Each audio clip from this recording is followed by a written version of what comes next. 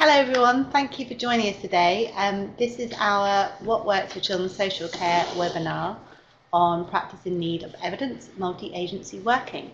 We're delighted to have Anna Bacchoo, Head of Practice for the What Works Centre, as well as Nimal, um, Practice Development Consultant Manager.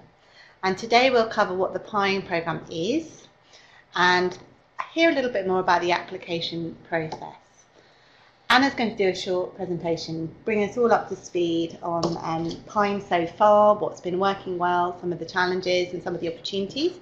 And Nimal is also going to share her reflections on the first round of the programme. Of course, there will be a Q&A towards the end of the session, so you have an opportunity to ask your questions and we will do our best to answer them. Okay, over to you, Anna. Thank you, Emma. Right, so I'm going to go through some slides, which hopefully you've got access to if you're listening. Um, so first of all, I'm going to talk to you a little bit about um, the principles of what works. So what's important to us at the What Works Centre for Children's Social Care. Um, so we have four principles, impact, nuance, usefulness and empowerment. And we apply these to all of our research programmes and everything we do at the centre. But the reason I've put this slide in here is because this is really relevant to our Practice in Need of Evidence programme um, each principle really kind of hits the mark in terms of this program. So the first principle is impact, and that's about the type of evidence and the type of research methodology that we're interested in. We're really, really focused on evidence and research that shows us the impact of one thing on another.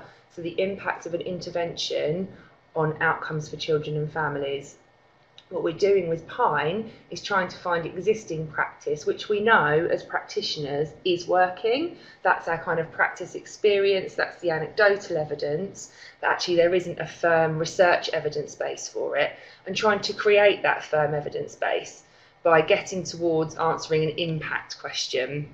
That is hard to do, and that's why there isn't loads of impact research out there because demonstrating or proving impact is really quite complex and challenging.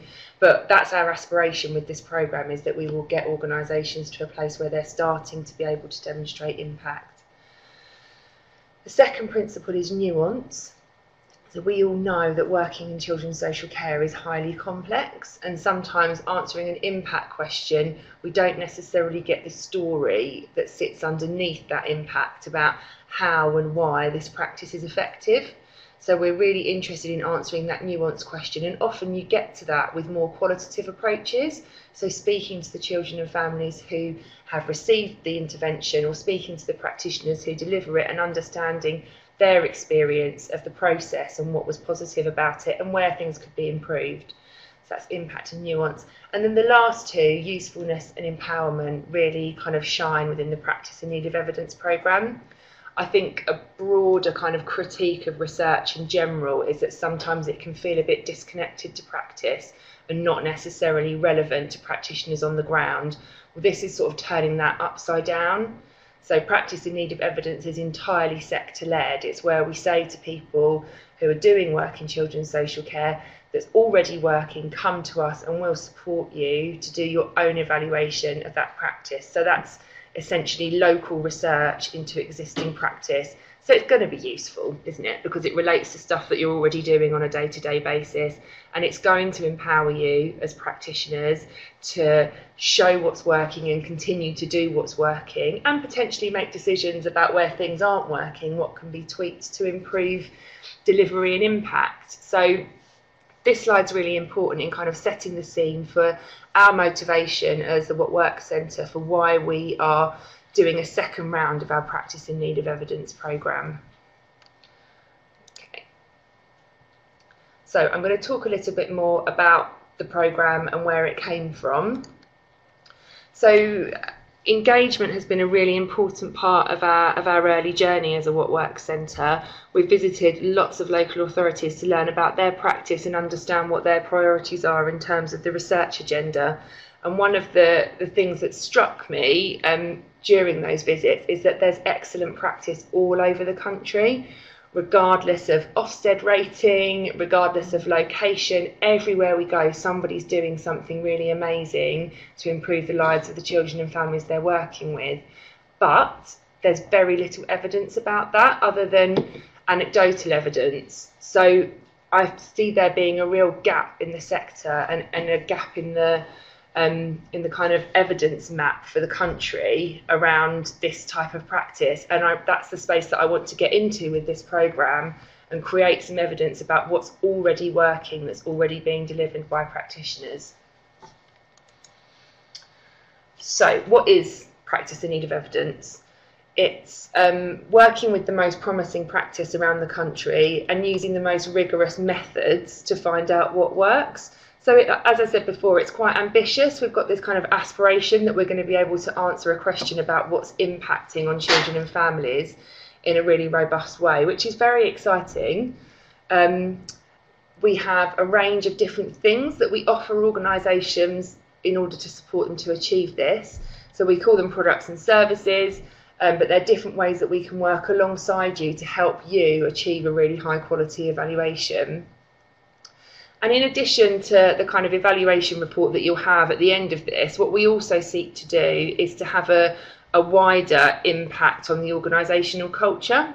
So uh, our aim is that when we leave you at the end of this process, the whole organisation will be slightly different in terms of how it thinks about evidence and its demand for it. So we'd really like to see organisations as a result saying, what else do we do that works and how else might we be able to demonstrate the impact that we're having with families? So we're kind of effectively moving towards a bit of a cultural change in the sector towards a more evidence minded approach.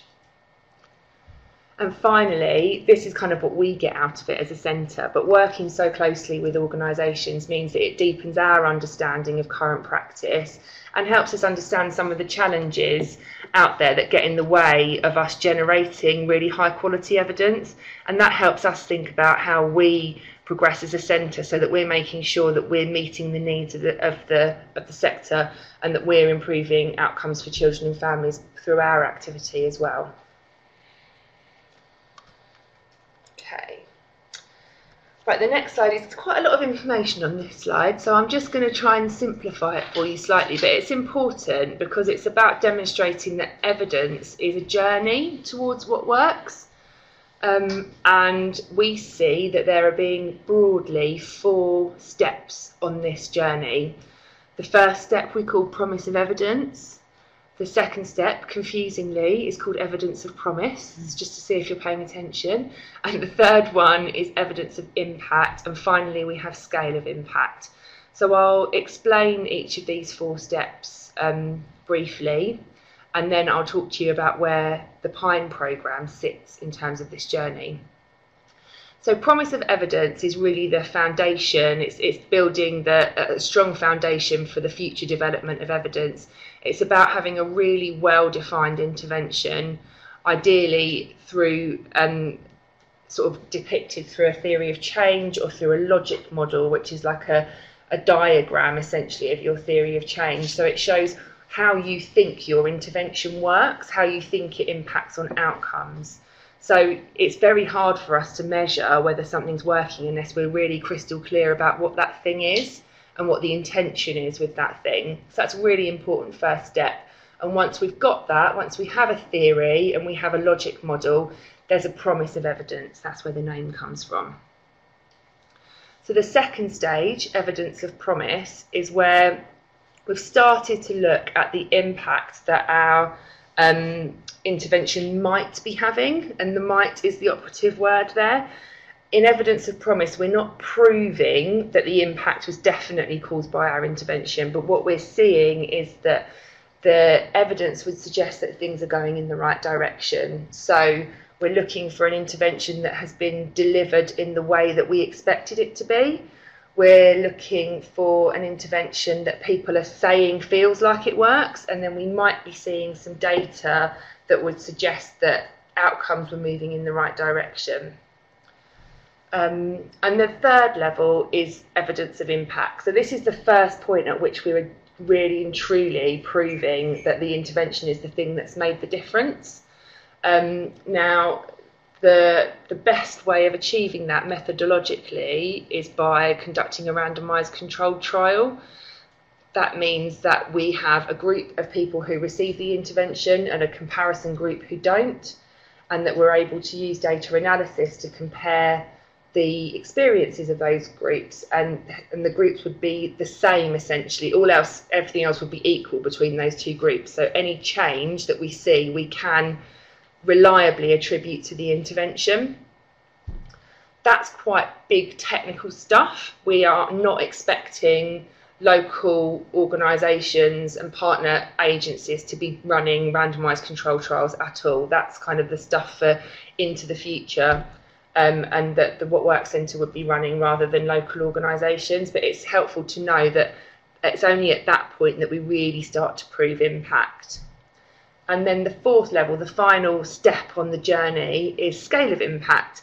That's where a number of studies have been done on one intervention, and those studies can be brought together normally in like a systematic review or a meta analysis. So that's a very, very high quality of evidence because you're drawing from a really large pool of information so we can um, give more weight to the findings. Obviously, that's not what we're proposing to do within the PINE programme. With PINE, we're, our aspiration is that we will get to promise of evidence and evidence of promise at the most. So, depending on your, the maturity of your intervention and the way that we design the evaluation with you, we'll get somewhere between one and two, um, which is, you know, taking really sure steps on a journey towards finding out what works and is a really um, a really good quality of evidence to achieve with this program. And I think is really realistic for organisations. Um, so yeah it's really exciting So what's the Pine offer? So if you apply to the programme and you're successful, this is what you can expect to receive as part of the Pine programme. So there'll be a memorandum of understanding, and as we're talking about multi agency working here, that will need to be brokered between all of the partner agencies and the Work Centre. So it's absolutely crucial here that we have buy in from all of the key stakeholder agencies. I think we'll find these evaluations won't work if it's just one organisation trying to take it forward. So it's absolutely vital that we think about that um, buy in and the way that we're going to work together as a, as a group right at the very outset. The next thing is there'll be a preparation event where we will visit your um, your multi-agency partnership and we we want to find out about your intervention basically we want to learn about your practice and feel like we really understand what it is that you're doing and we'll also use that opportunity to upskill the multi-agency partners in the research methods that they'll be using and the whole process that's about to come um, following the event so that everybody's clear about what they're embarking on. The third part is the actual self-evaluation um, through what we call the Pine portal. So this is the the meat and bones of the of the piece of work. This is where you actually go out and do your self-evaluation. And on the next screen, I have this is a screenshot of the Pine portal, which I can talk you through briefly. So as you'll see, the portal is separated into four stages: describe, plan, do, and review. Each stage has a range of different resources within it um, that are everything you need in order to plan and deliver a really high quality evaluation. And built into this process at the end of each of these stages is a consultation with What Works Centre research team. So you're not on your own with this at all. And over and above those kind of standard consultation points, you're you can have as much support as you need with this. And we, we appreciate that people are going to be at different points in their journey, and some people will be happy to get on with things um, on their own a lot of the time, and other organisations would like to do that more in partnership with us, and we're completely open and committed to providing as much support as we need to. And I think what you can take from this screenshot is that we're giving you the raw tools and resources that you need in order to do the evaluation, but actually a lot of the planning and a lot of the decisions about what that looks like in practice are over to you. So you get to decide what your evaluation looks at specifically. You get to decide how you're going to gather information, whether you're going to, how much you're going to rely on data, how much you're going to rely on qualitative methods, and everything will be completely bespoke to your intervention. Um, and between do and review, so the last two sections, that's where the data analysis happens. And that's the part that what works for children's social care researchers really step in and do a lot of that data analysis for um, for the organisation. So you're getting the benefit of, of the expertise in our research team to really provide a high quality data analysis that you can then present in the review section as you wish for your final evaluation document. Okay. Right, I think that's the those are the main messages about what Pine is and how we came to develop the programme. I think that's it. So any questions? Should we go over to Nimal first? Yeah. Yeah, just just hear some reflections from Nimal and then we can go through questions that may be Sure. from both of you. Yep. So, uh, yeah, thanks, Emma. I, I mean, just to echo what Anna's been saying, it's been really um, great to see genuine levels of enthusiasm and commitment and energy from local authorities to kind of grow and develop their local innovation. Um, it's not a surprise to us that the skills and the kind of expertise to develop no, new initiatives are so um, kind of evident within the local authorities. But what's been great for us is to be able to support local authorities to really think about evaluation right at the start of this process and really zoom in on any outcomes and particularly their kind of evaluation questions. It's also been good to um, enable local authorities to learn about and develop theories of change and work through developing a logic model. So you know, as Anna was saying, it's yes, it's very much over to you, but you know, we're we're we've got regular kind of check-in sessions, and it's really great to kind of see local authorities moving through that process. And I think what I value about the project is it's really developing and keeping the learning within the local authorities. So it's not, you know, it's really helping to to kind of skill people up in those areas. That's, been my experience. Brilliant. That's really helpful to hear how it's been going so far. Some really positive developments. So thank you, Nimal. We do have some um, some good questions um, here coming through. So perhaps we can start with a few practical ones, um, just to reiterate um, a little bit more about the process of application. So um, if you could just tell us, Anna, how long would it take, and just a little bit more about what you would need from applicants, time commitments. Okay, yeah, sure, no problem.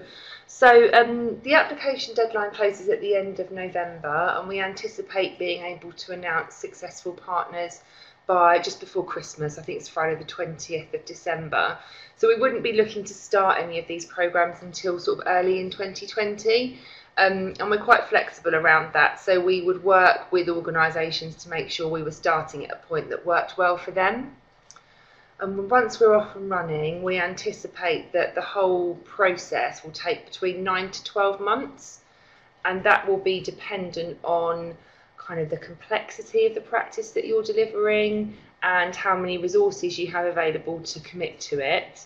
Um, I suppose for each stage of the process, um, I expect Describe to take around two months, Plan to take around two months, do to take three months and review around two months.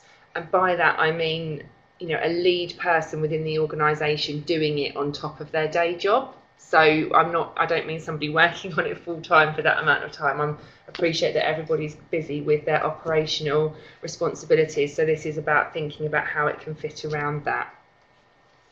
Brilliant, thank you. That's really helpful to know. And as Anna said earlier, um, there's plenty of support available from um, the What Works for Children's Social Care team, who will be there with you every step of the way and very flexible um, offer Yes. of support as well. So thanks for that. Um, a few questions on um, this particular round, which is focusing on multi-agency interventions. Um, I wonder if we can just go to this question: um, Can on, only local authorities apply? Or can other types of organisation? Um, that's that's one question, and then the second one here is um, why is this only for multi-agency working, and can we apply with something that's single agency? Okay. So I think the the, an- the answer to why we're focusing on multi-agency is really that we know that it's something that's happening in every children's social care organisation across the country. You know, we have to work together. As statutory agencies to deliver our safeguarding services. And I think what we've noticed in our travels around the country is that people are coming up with really innovative ways of delivering that, that kind of go above and beyond our statutory responsibilities, because people are finding that the closer we work together, the better it is for children and families, and the more efficient and effective those services are. However, there's very little out there that tells us about how to do that well, and people are um, working intuitively and really innovatively. And I think that it would help the, the sector and the development of our practice if we were able to provide an evidence base about the way to do that well. So that's why we've chosen to um, have a theme for this round of practice in need of evidence, looking specifically at multi agency working. We absolutely intend that there will be future rounds of Pine, some that will have another theme and others that will be open to any type of practice because it feels like there's a real appetite for doing this sort of work, which is fantastic.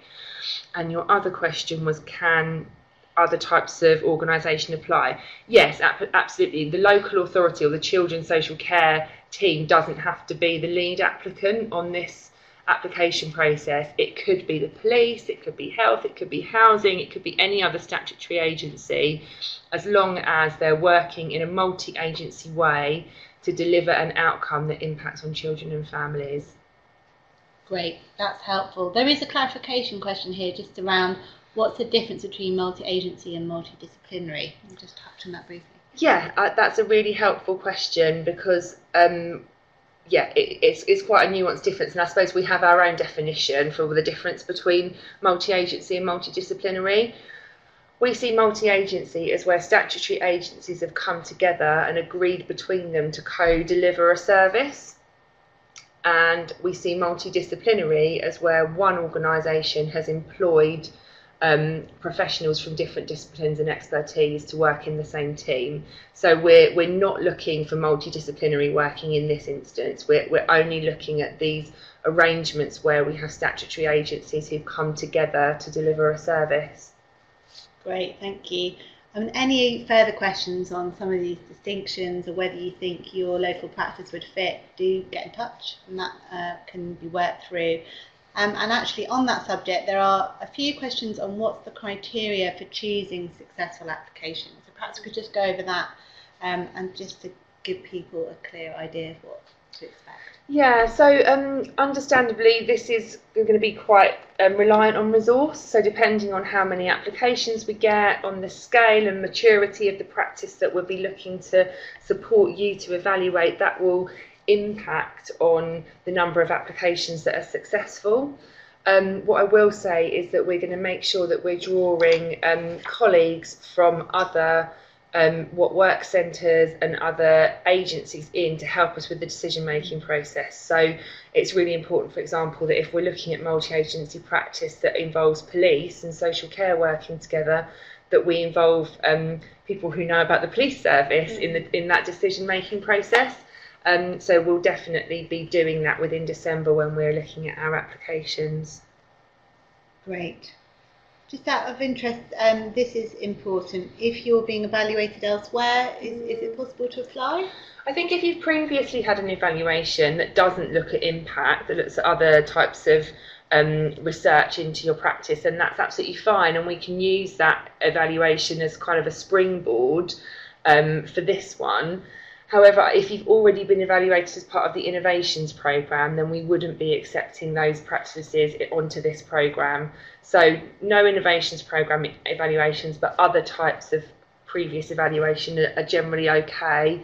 Um, if you're if you've got an evaluation and you're not sure about whether it would um, preclude you from being part of the program, please just get in touch and, and share it with us, and we'll help help work that out with you.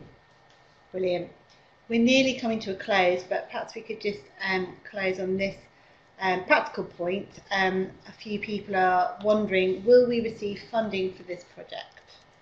Okay, so there's no actual funding available for successful partners here, but what you are will receive if you're successful is all of the resources and support from What Works for Children's Social Care free of charge. And one of the things that's great about the portal, which I probably should have said earlier, that once you're um, successfully accepted onto the programme, uh, you'll receive a login to the portal, and all of those resources are then free for you to use for any other piece of work that you want to, and we actively encourage that. So um, you're opening up your organisation and your multi-agency partners to a wealth of resources that could improve and enable them to evaluate lots of different types of practice going Mm. forward into the future. So it's really worthwhile coming on board. Mm. I'll just I'll just add there to what Anna's just said that you know we've seen um, in relation to the Pine portal, the self-evaluation portal, the steps and questions can really help to guide your kind of strategy on how other innovation projects can weave together.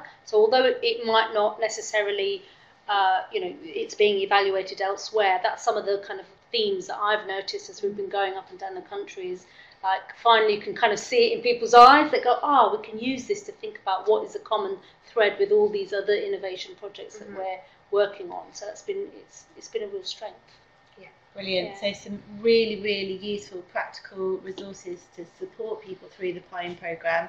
Um, of course, um, people are going to have further questions to today. Um, so what's the best way to get in touch beyond this webinar? So they can contact um, me at the What Works Centre. We can attach my email as part of the presentation, can we, Steve? Yep.